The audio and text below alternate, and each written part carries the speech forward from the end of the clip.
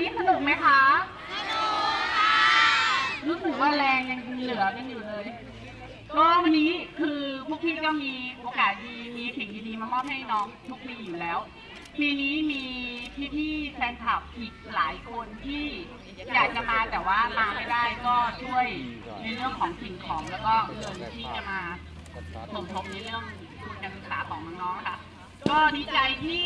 มีโอกาสมอบสิ่งดีแล้วก็ หวังว่าปีต่อๆไปพี่ๆแฟนคลับก็จะร่วมแรงร่วมใจมาทำกิจกรรมดีๆอย่างนี้ให้น้องๆนะคะก็ขอบคุณพี่ๆแฟนคลับทุกคนนะคะ ขอบคุณคนที่มาช่วยงานวันนี้ทุกคนแล้วก็รวมถึงน้องๆก็ขอให้น้องๆโตขึ้นมาเป็นเป็นผู้ใหญ่ที่ดีในอนาคตพวกที่ก็ฝากน้องๆไว้นะคะ